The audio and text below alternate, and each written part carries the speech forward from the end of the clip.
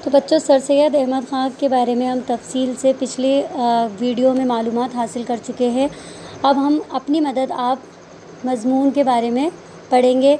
तो खुदा उनकी मदद करता है जो आप अपनी मदद करते हैं।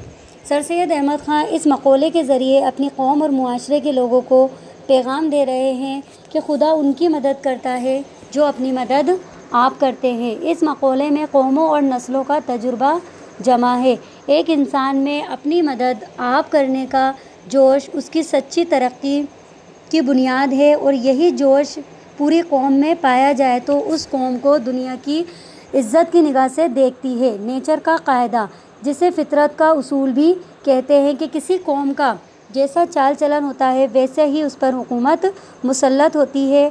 हदीस मुबारक में नबी करीम इरशाद फरमाते हैं कि तुम्हारे आमाल ही तुम्हारे हुक्मरान हैं।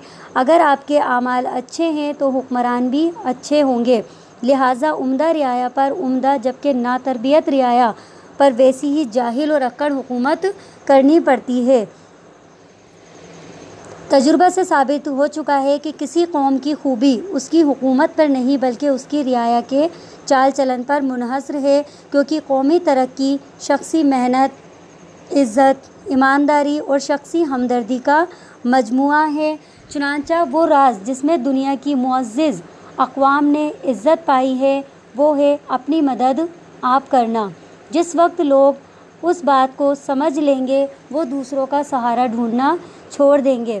तो सर सैद अहमद ख़ान यहाँ अपने कौम को बेदार करते हुए लिखते हैं कि यही वजह है कि विलियम ड्रॉगन ने कहा था कि हमारी मेहनत और हमारी आज़ादी हमारे ऊपर ही मुनहसर है। अगर हम अपनी मदद आप करते रहें तो हमारी तरक्की और बेहतरी का इससे अच्छा कोई मौका नहीं हो सकता। इंसान की मौजूदा तरक्की पर गौर किया जाए तो वाज होता है कि हर दौर में, हर नस्ल ने इस तामीर और तरक्की में किरदार अदा किया है और हर आने वाली नस्ल ने अपने से पहली नस्ल को फराहम करदा बुनियाद पर ही तरक्की की इमारत कायम की है। चुनाचा हमें भी चाहिए कि हमें अपनी और अपने मुल्क कौम की तरक्की में किरदार अदा करें और एक बेहतरीन मुल्क आने वाली नस्लों को सुपुर्द करें। इस सूरत में दुनिया में इज़्ज़त और आखरत को संवारने के काबिल हो जाएँगे। तो सर सैद अहमद ख़ान हमारे मुल्क के नौजवान तबका के या हमारे जो कौम है ख़ास तौर पर मुस्लिम कौम जो दौर जहालत से उस वक्त गुज़र रही थी, उसको बेदार करने के लिए अपनी मदद आप, ये मजमून लिखा था। शुक्रिया।